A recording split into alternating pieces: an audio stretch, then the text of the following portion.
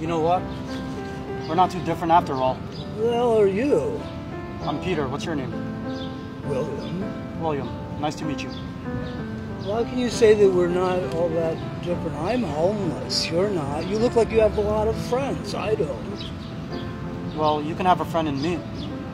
Yeah. I'm short on time, William, so I want you to have something. That's for you, okay? Okay. God bless you.